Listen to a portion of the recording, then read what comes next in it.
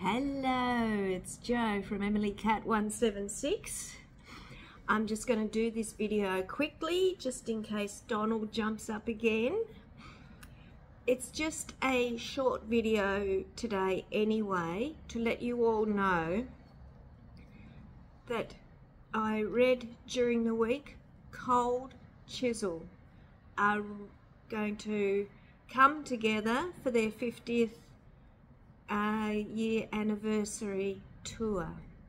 Now, I don't know if any of you know Cold Chisel.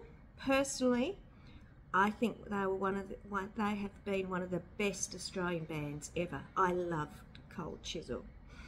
Now, a lot of people might only think of Khe Sanh, which of course was um, about the Vietnam War. But there was so much more than that. So much more.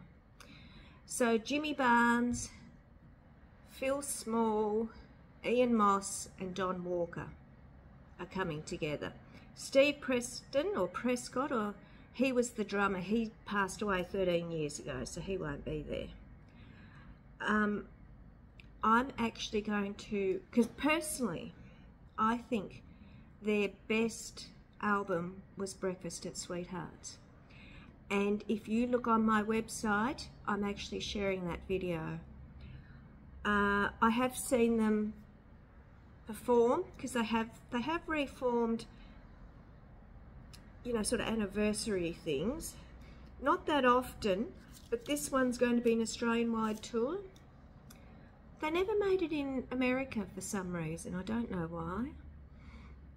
But Cold Chisel Midnight Oil great bands great bands so yes go to the website have a look see if you like it the, it, what really stood them apart, I think, was the excellent songwriting of Don Walker.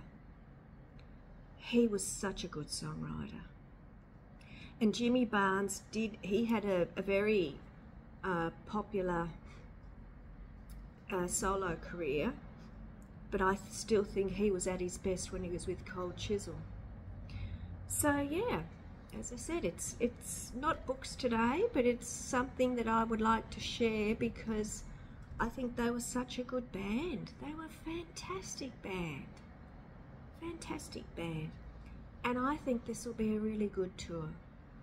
I don't know if I'll go, but as I said, go to the website, check out Breakfast at Sweethearts and see what you think. Okay, bye.